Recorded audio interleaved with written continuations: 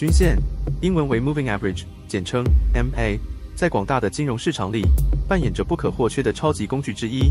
我们常使用的指标如 MACD、RSI、布林带、KDJ、ADX 等，以及当今许多的技术指标，都是以均线为基础架构来衍生。与其说它是超级工具之一，不如称它为万中指标之母。这个称号绝对非它莫属。这个指标在使用上可以用来判断当前价格的方向。想象一下，当你在看一个商品价格的时候，眼前高低分布的 K 线图让人眼花缭乱，而均线就像是一盏明灯，帮助我们看清楚价格的走势方向。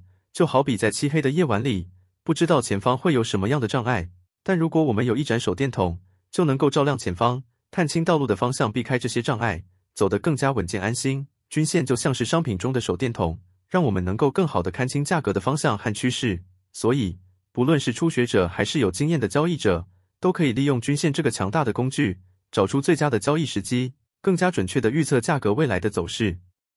均线除了能预测价格未来的走势，也可以当做技术分析工具的指标。我们常见的金叉死叉交易策略，使用两条均线，分别为短均线及长均线。以多单为例，当 K 棒收盘后，短均线大于长均线，我们就建立多单仓位。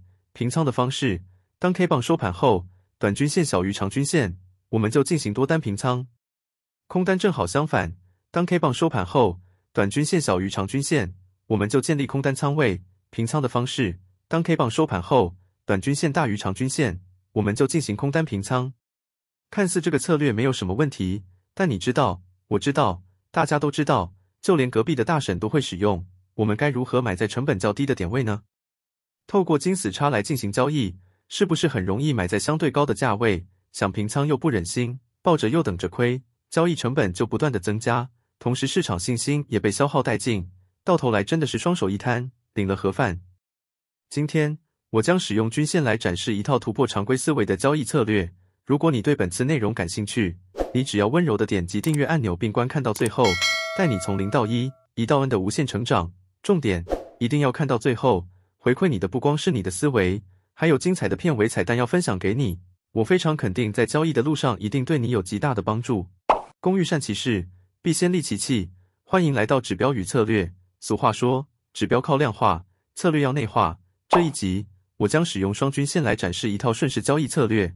在这一千七百二十天的交易日里，使用四小时级别图表进行以太币对泰达币两百次以上的交易，提供了百分之六百以上的收益率。与往常一样。适用于外汇、股市、期货、贵金属、加密货币或其他参与者众多的金融衍生商品。这套交易策略我会在 TradingView 上实现，并使用两个免费指标。接下来，我就从头到尾说明及演示一遍，如何在 TradingView 上添加并使用这套交易策略。指标的连接会在下方的说明栏位中列出。这套交易策略是由两种不同指标组合而成，指标分别为两条均线。与往常一样，快速科普指标其中含义。首先是第一条均线，请在技术指标栏位输入移动平均或输入 MA，将原本长度九改为二，其余选项不变，颜色及线条请依照自己喜好来进行设置。接下来是第二条均线，请在技术指标栏位输入移动平均或输入 MA，将原本长度九改为三十，其余选项不变，颜色及线条请依照自己喜好来进行设置。这两条均线我将给它新的命名。以确保各位观众后续在收看时不会搞混。MA 二，我称它为短均线；MA 三十，我称它为长均线。我们可以看到，短均线较灵敏的反映了价格的变化，而长均线则较为平滑的反映了趋势的变化。因此，交叉点能够显示短期和长期市场趋势的变化。至今，在以往的思维里，大多数的交易员都知道，黄金交叉要做多或空单平仓，死亡交叉要做空或多单平仓。这个思维在今天，请全部遗忘它。本次将打破以往进出场方式，来进行一套逆向操作的顺势突破策略。接下来，我将结合实例说明交易规则，并且让大家知道如何将这套交易策略运用在市场上。进入到交易规则，这是在加密货币以太币对泰达币四小时级别图表进行多单的规则。第一，短均线小于长均线，视为多头信号。第二。以当前最新的这根 K 棒为基准，这里请注意是当前未收盘的这根 K 棒，然后往回找出这区间十六根 K 棒的最高点。这个高点我们视为 K 棒突破后的买进信号，所以我们要使用挂单的方式来期待价格的到来，使用限价单，也称 Maker 或 Buy Stop 来进行。第三，随着时间的推移，在这区间十六根 K 棒的最高点会因为新的 K 棒产生而进行调整。取十六根 K 棒的数字不变，我们改变的只是将基准点往最新的 K 棒移动。第四。当最新一根 K 棒突破区间十六根 K 棒的最高点，就是我们要找的关键 K 棒，触发限价单就是我们的进场点位。停损不用设置。停利，当多单进场后，此时无需再理会短均线及长均线的任何变化，只要专注于当前最新的这根 K 棒。当这根 K 棒的价格跌破区间十六根 K 棒的最低点，我们就进行多单平仓。这里可以看到，这根 K 棒很明显的往下回调。但没有跌破区间十六根 K 棒的最低点，这就不符合我们要的多单停利信号。直到这个位置，可以看到我们的多单停利目标最终在这里击中了这根 K 棒。这里进行补充说明：第一，在没有触发限价单的情况，如果短均线大于长均线，这表示多头信号已结束，此时请把我们的限价单删除。第二，找出区间十六根 K 棒的小技巧，我们可以在 Trading View 内建的工具栏位。使用日期预测范围来快速抓取我们要的 K 棒数量，请观众依照个人需求自行设置。接下来进行空单的规则，这是在加密货币以太币对泰达币四小时级别图表进行空单的规则。第一，短均线大于长均线，视为空头信号。第二，以当前最新的这根 K 棒为基准，这里请注意是当前未收盘的这根 K 棒，然后。往回找出这区间十六根 K 棒的最低点，这个低点我们视为 K 棒跌破后的卖出信号，所以我们要使用挂单的方式来期待价格的到来，使用限价单，也称 Maker 或 Sell Stop 来进行。第三，随着时间的推移，在这区间十六根 K 棒的最低点会因为新的 K 棒产生而进行调整。取十六根 K 棒的数字不变，我们改变的只是将基准点往最新的 K 棒移动。第四。当最新一根 K 棒跌破区间十六根 K 棒的最低点，就是我们要找的关键 K 棒，触发限价单就是我们要的进场点位。停损不用设置。停利，当空单进场后，此时无需再理会短均线及长均线的任何变化，只要专注于当前最新的这根 K 棒。当这根 K 棒的价格突破区间十六根 K 棒的最高点，我们就进行空单平仓。这里可以看到，这根 K 棒看似很明显的往上调。但没有突破区间十六根 K 棒的最高点，这就不符合我们要的空单停利信号。直到这个位置，可以看到我们的空单停利目标最终在这里击中了这根 K 棒。这里进行补充说明：第一，在没有触发限价单的情况，如果短均线小于长均线，这表示空头信号已结束，此时请把我们的限价单删除。第二，找出区间十六根 K 棒的最低点小技巧。我们可以在 Trading View 内建的工具栏位，使用日期预测范围来快速抓取我们要的 K 棒数量，请观众依照个人需求自行设置。最后，又到了干大事的时间，没错，我将进行一百次以上的复盘回测，初始金额为一万泰达币，杠杆使用一比五十，使用百分比权益，交易手续费为百分之零点一。事不宜迟，让我们开始吧。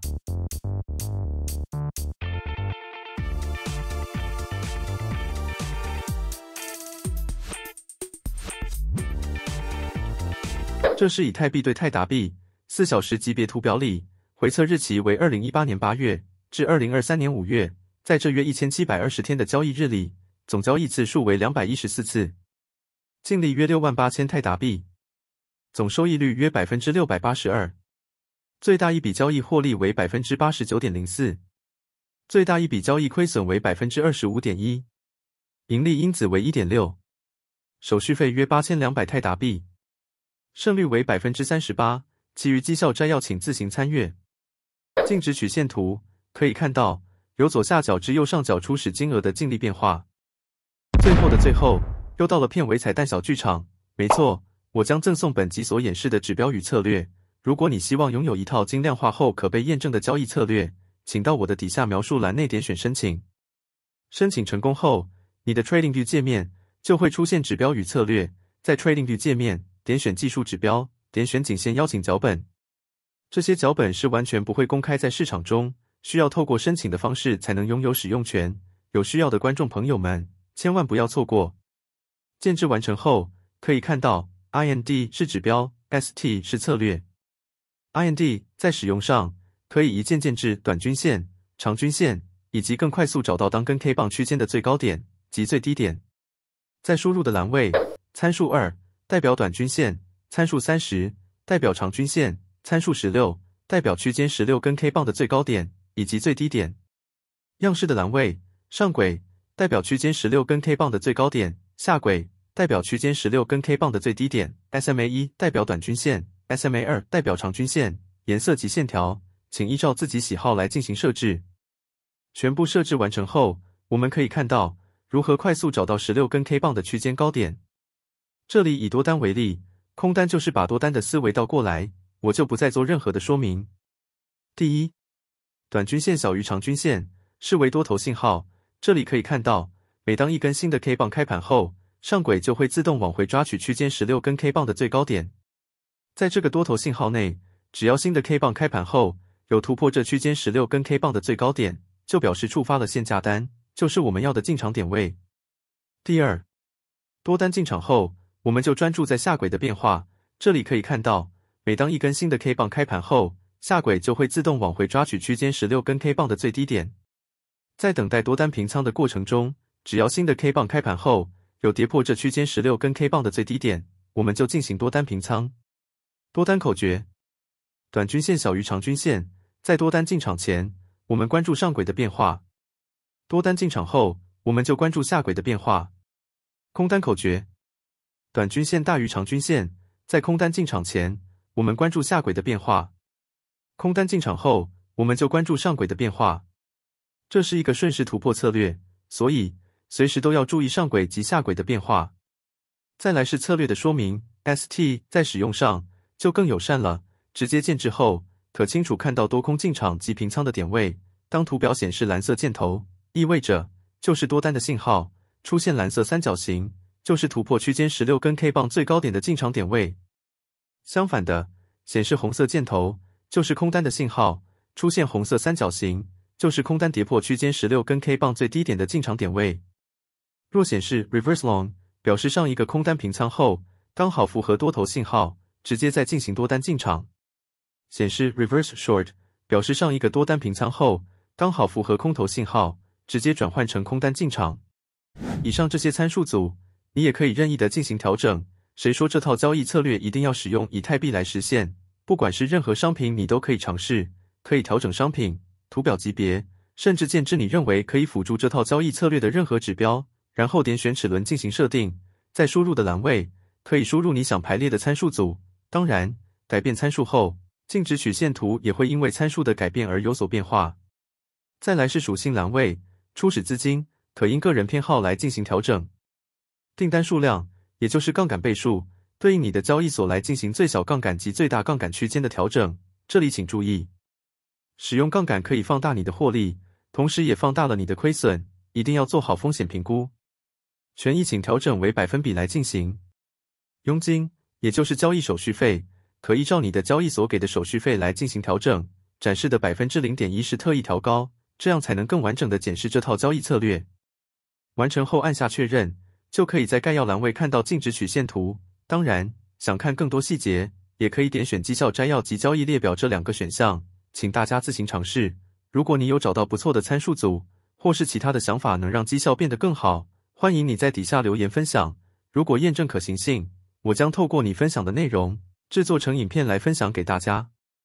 频道的尾声，让我们来聊聊在量化底下我们所需要注意的事项。可以看到，一张史诗等级的净值曲线图，肯定是从左下角开始，然后四十五度往对角方向前进。拥有这么完美的净值曲线图。那肯定是不可能的。然道交易零亏损。若观众朋友真有看过，很可能是从会的策略，或是短期间某时段所呈现出来的绩效。譬如这一段，若是一套可以运用在实盘的交易策略，随着交易时间及次数的拉长，肯定会验证一切。这么说起来，什么样的净值曲线图才算合格呢？我认为最基本的就是要创高。何谓创高？交易不可能零亏损。但短期的交易绩效因亏损而回撤后，若有再次创高，再回撤，再创高，再回撤，再创高，然后有系统的往右上角走，我肯定这就是一个优秀的交易策略。不要迷失在过于追求高胜率的交易圣杯，我们应该更着重在你的风险控管上，给你百分百的净利，却承受百分之六十的亏损，相信你我都无法接受。那么，要如何去弥补交易心态上的化学变化呢？心态这个议题太主观，我就不多说，请大家自行脑补。正确的答案就是增加你的交易策略，这可以是同策略、不同商品，也可以是同策略、同商品，但不同的图表级别，把你的权重比。再一次的进行分散，最后打造出一套自己的投资组合，损少赚多，才有机会成为市场的赢家。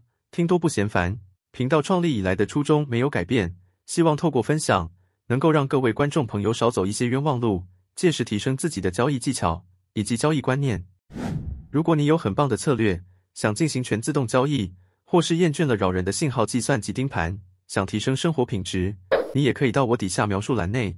点选 B 框全球量化交易，输入我的专属折扣码还能享优惠。这里头环绕着对城市交易的学习议题，或是点选右上角观看城市交易这一集。不论你是城市交易者或是主观交易者，希望看完本频道后都可从中受益。如果你喜欢本集的影片，请不要忘了订阅我的频道，并且花你五秒的时间点赞及分享，我会非常的感谢。好啦，指标靠量化，策略要内化。今天的频道就分享到这。如果你对这套交易策略有其他更棒的想法，欢迎底下留言。指标与策略，祝各位顺心，我们下次见。